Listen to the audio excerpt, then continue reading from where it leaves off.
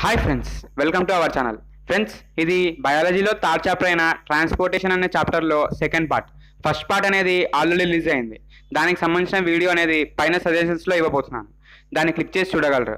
So let us begin our episode మనం ముందు వీడియోలో చెప్పుకున్నట్టు యూనిసెల్యులర్ ఆర్గానిజమ్స్ అంటే అందులో ఒకే సెల్ ఉంటే అక్కడ బ్లడ్ అనేది చాలా ఈజీగా ట్రాన్స్పోర్ట్ అయిపోతుంది అని చెప్పుకున్నాం కదా ఇక్కడ సింగిల్ సర్క్యులేషన్ అనేది జరుగుతుంది.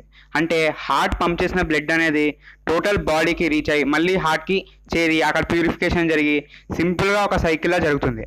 కానీ డబుల్ సర్క్యులేషన్ అంటే ఇది మ్యామల్స్ అంటే హ్యూమన్ బీయింగ్స్లో ఎక్కువగా జరుగుతూ ఉంటుంది. ఇక్కడ హార్ట్ నుండి పంప్ అయిన బ్లడ్ అనేది బాడీ మొత్తం తిరిగి మళ్ళీ హార్ట్కి రీచ్ అయ్యే లోపల రెండు సార్లు జరుగుతుంది అనమాట అంటే ఇక్కడ బ్లడ్ అనేది టూ వేస్లో డివైడ్ అవుతుంది. అలాగే కొన్ని పార్ట్స్కి ఒక సైడ్ వెళ్తుంది ఇంకొన్ని పార్ట్స్కి ఇంకో సైడ్ వెళ్తుంది. మొత్తానికి మళ్ళీ రెండు కలిసి హార్ట్కి చేరి మళ్ళీ ప్యూరిఫికేషన్ జరిగి మళ్ళీ బయటికి పంప్ అవుతాయి అన్నమాట ఆ తర్వాత మనం లింఫాటిక్ సిస్టమ్ గురించి తెలుసుకుందాం. ఫ్రెండ్స్ బ్లడ్ అనేది ఎల్లప్పుడూ కార్బన్ డైఆక్సైడ్ని కలెక్ట్ చేసుకుంటూ ఫుడ్ మాలిక్యూల్స్ని ప్రతి బాడీ పార్ట్కి చేర్చడానికి ఎంతో తోడ్పడుతూ ఉంటుంది. అప్పుడప్పుడు మనం కాళ్ళు కదలకుండా అలాగే కూర్చొని ఉంటే కాస్త కాలు జోమ్ పట్టిందిరా అని అంటూ ఉంటాం. అంటే అక్కడ లింఫ్ అనే సబ్స్టెన్స్ పేరుకోపోయింది అని మనం గమనించాలి. కాలు కదలకుండా అలాగే కూర్చొని ఉంటే బ్లడ్ సర్క్యులేషన్ అనేది సరిగ్గా జరగదు. సో ఇక్కడ ఎక్స్చేంజ్ అనేది జరగకుండా లింఫ్ అనే సబ్స్టెన్స్ ఫామ్ అవుతుంది. ఆ లింఫ్ అనే సబ్స్టెన్స్ని మళ్ళీ మనం ఎలా ఎక్స్క్రీట్ చేస్తామని తెలుసుకోవడమే లింఫాటిక్ సిస్టమ్. ఇక్కడ ఇంతవరకు చెప్పుకున్నదే ఇంట్రడక్షన్లా ఇచ్చారు. ఫ్యూచర్లో మీరు దాని గురించి క్లియర్గా తెలుసుకోగలరు అని ఎండింగ్ ఇచ్చారు. ఇక్కడ బ్లడ్ వెజిల్స్ లాగా లింఫ్ వెజిల్స్ అని కూడా ఉంటాయి. అంటే ఇది లింఫ్స్ని కలెక్ట్ చేస్తూ బయటికి ఎక్స్క్రీట్ చేస్తూ ఉంటుంది అనమాట అమీబా లాంటి యూనిసెల్యులర్ ఆర్గానిజమ్స్లో అయితే అది ఇచ్చే బ్రౌనియన్ మూమెంట్స్ ద్వారా ఫుడ్ అనేది టోటల్ బాడీకి డిస్ట్రిబ్యూట్ అయి డైజెషన్ జరిగి ఎక్స్క్రీషన్ జరుగుతూ ఉంటుందన్నమాట. కానీ మల్టీ సెల్యులర్ ఆర్గానిజమ్స్ అయిన మనం అలాంటి సింపుల్ ప్రాసెస్ వల్ల ట్రాన్స్పోర్టేషన్ అనేది జరగదు. దీనితో ఒక్కొక్క ఆర్గానిజమ్స్కు మనం ట్రాన్స్పోర్టేషన్ సిస్టమ్ అనేది వేరేలా ఉంటుంది అని తెలుసుకోగలం. తర్వాత మనం బీపీ గురించి తెలుసుకుందాం. బీపీ అంటే బ్లడ్ ప్రెషర్ మనం ముందు వీడియోలో తెలుసుకున్నట్టు ఆరికల్స్ నుండి అయోటాకు బ్లడ్ అనేది పాస్ అవ్వాలి. అంటే ఇక్కడ ఒక ప్రెషర్ అనేది క్రియేట్ అవ్వాలి. ఈ ప్రెషర్ అనేది ఫ్రీగా హార్ట్ సప్లై చేస్తూ ఉంటుంది. అక్కడక్కడ కాస్త కొవ్వుతో నిండిన పార్టికల్స్ హార్ట్లో స్టోర్ అయ్యి ఉంటే బ్లడ్ అనేది మూవ్ అవ్వడానికి ఎంతో ప్రెషర్ అనేది అవసరం. అప్పుడప్పుడు ఆ ప్రెషర్ నుండి తట్టుకోలేక మొత్తానికి హార్ట్ అనేది కొలాప్స్ అవుతుంది. దాన్నే హార్ట్ అటాక్ అంటారు. బ్లడ్ పంప్ చేసే టైంలో ప్రెజర్ అనేది అవసరం. ఆ ప్రెజర్ ఎలా ఉంటుందో దాన్నే బ్లడ్ ప్రెజర్ అంటారు. కొంతమందికి తక్కువగా ఉంటుంది కొంతమందికి ఎక్కువగా ఉంటుంది.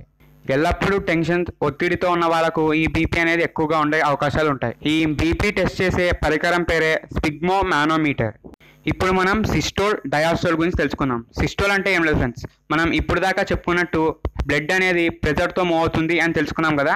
ఆ ప్రెజర్ ఎంతైతే ఉంటుందో దాన్ని సిస్టోల్ అని అంటారు. అలాగే డయాస్టోల్ అంటే ఆ ప్రెజర్తో బ్లడ్ అనేది బయటికి పోయిన తర్వాత హార్ట్ అనేది ఒక సెకండ్ పార్ట్ రెస్ట్ పొజిషన్లో ఉంటుంది. ఆ టైంలో అది ఏ రేంజ్లో ఉంటుందో దాన్నే డయాస్టోల్ అంటారు. మామూలుగా హెల్తీ పర్సన్కు సిస్టోల్ రేంజ్ అనేది one twenty MM of HG ఉంటుంది. అలాగే డయాస్టోల్ అనేది ఎయిటీ ఎంఎం ఆఫ్ హెచ్డి ఉంటుంది. బీపీ చేంజ్ అవ్వడం అనేది మనం చేసే యాక్టివిటీస్ అంటే రెస్టింగ్ పొజిషన్లో ఉన్నామా? అలాగే వాకింగ్ చేయడం బట్టి రన్నింగ్ చేయడం బట్టి చేంజ్ అవుతూ ఉంటుందన్నమాట. అంటే మనం హెల్తీగా ఉంటే బీపీ అనేది మళ్ళీ కంట్రోల్లోకి తెచ్చుకోవచ్చు.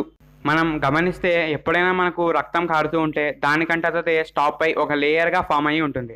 దీనికి కారణం బ్లడ్లోని వైట్ బ్లడ్ సెల్స్ అలాగే రెడ్ బ్లడ్స్తో పాటు ఉన్న బ్లడ్ వెజిల్స్ అనే సబ్స్టాన్సెస్. సో ఇవే ఒక లేయర్గా ఫామ్ అయి మొత్తానికి ఆ బ్లడ్ బ్లీడింగ్ అనేది స్టాప్ చేస్తూ ఉంటాయన్నమాట. విటమిన్ కే డిఫిషియన్సీ ఉన్న వాళ్ళకు ఇది సరిగ్గా పనిచేయకపోవచ్చు. బ్లడ్ బ్లీడింగ్ టైంలో బ్లడ్ అనేది బయటకు వచ్చే టైంలో బ్లడ్ వెజిల్స్లో ఉన్న ఒక ఎంజైమ్ ట్రాంబోకినస్ అనే ఎంజైమ్ బయటకు వస్తూ ఉంటుంది.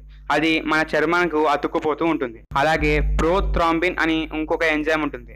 ఈ రెండు కొలాప్స్ అయి మొత్తానికి ఫ్రైబ్రిన్ అనే సబ్స్టెన్స్ అనేది ఫామ్ అవుతుంది. కొన్ని రోజుల తర్వాత ఆ బ్లీడింగ్ దగ్గర సెరం అనే ఎల్లో కలర్ ఫ్లూయిడ్ అనేది బయటికి వస్తూ ఉంటుంది. సరే ఇంతవరకు మనం ఒక హ్యూమన్ బాడీలో బ్లడ్ అనేది ఎలా ఎంత యూస్ఫుల్లో అలాగే ఎలా సప్లై అవుతుంది హార్ట్ గురించి మొత్తానికి మనం కొన్ని ఆర్గానిజమ్స్ గురించి కూడా తెలుసుకున్నాం.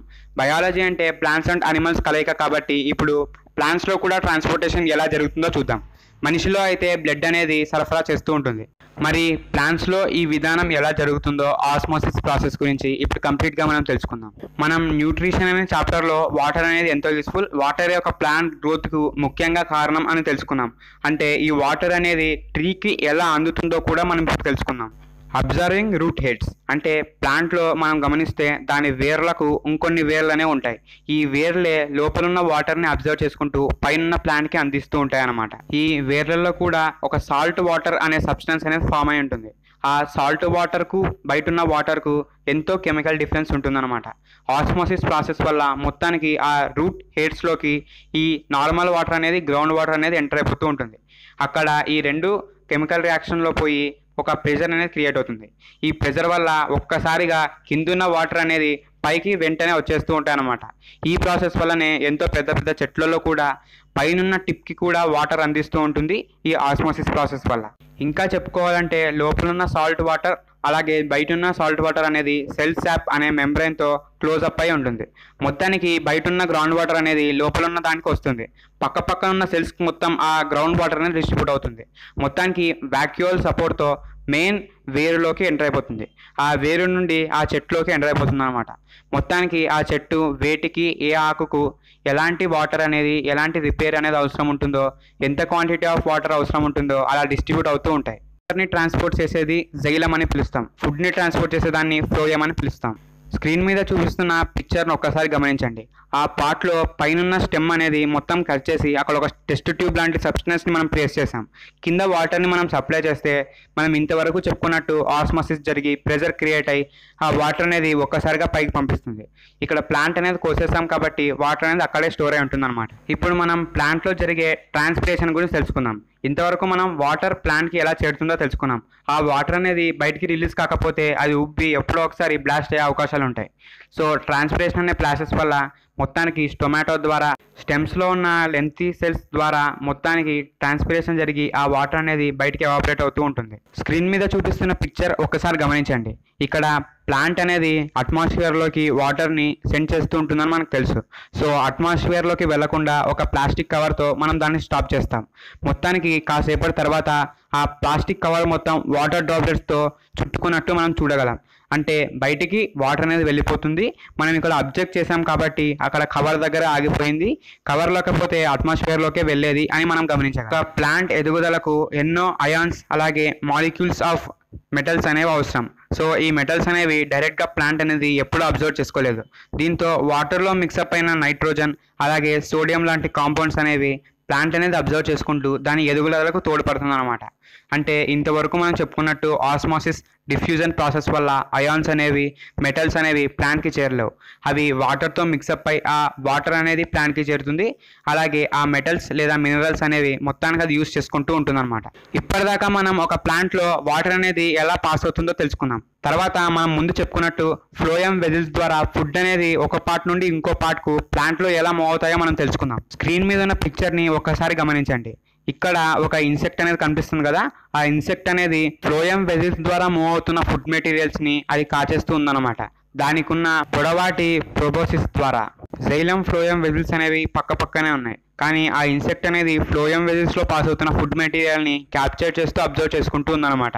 దీనితో ఫ్లోయం వెజిల్స్లోనే ఫుడ్ అనేది పాస్ అవుతూ ఉంటుందని అలాగే ప్లాంట్లో ఫ్లోయం వెజిల్స్ అనేది ఫుడ్ ట్రాన్స్పోర్ట్ చేయడానికి యూజ్ అవుతాయి అని మనం ఈ ఎక్స్పెరిమెంట్ వల్ల తెలుసుకుంటాం. అందుకే కదా ఆ ఇన్సెక్ట్ అనేది అక్కడ ఫుడ్ అవైలబుల్ అవుతుంది అని కరెక్ట్గా ఆ పొజిషన్ దగ్గరే ఫుడ్ని అబ్జర్వ్ చేసుకుంటూ ఉంది.